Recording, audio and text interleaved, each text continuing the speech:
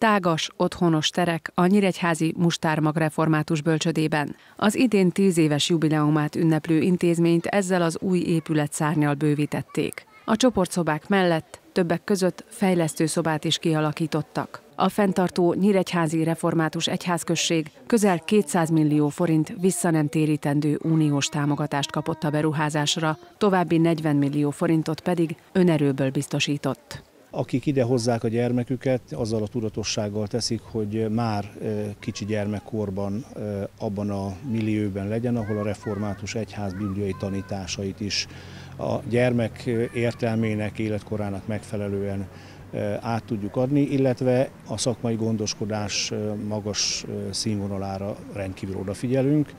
Ez nem csak a bölcsődevezetőnek az egyszemélyes feladata, hanem minden dolgozónak és a fenntartó egyházközség is folyamatosan nyomon kíséri az itt folyó munkát.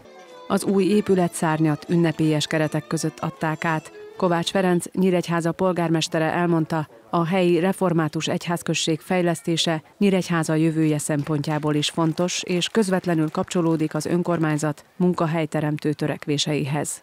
Erre a bölcsődére is nagyon nagy szükség lesz. A következő öt évben legalább 5000 új munkahely lesz Nyíregyházán, ez már biztos, tehát ezek már folyamatban lévő dolgok, és remélhetőleg még gyarapodik ez a szám is.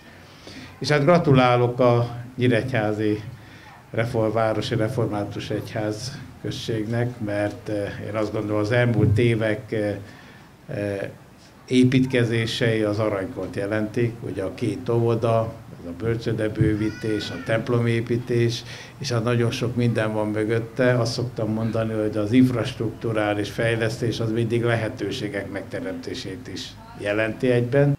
Az ünnepségen Szabó Tünde, Nyíregyháza országgyűlési képviselője azt mondta, napjainkban kulcsfontosságú, hogy nemzeti, kulturális, vallási közösségeinket ne csak meg tudjuk őrizni, hanem támogatni és erősíteni is képesek legyünk. A bölcsődék felújítása, korszerűsítése, bővítése 2010 óta kiemelt jelentőséggel szerepel a kormány fejlesztési tervei között.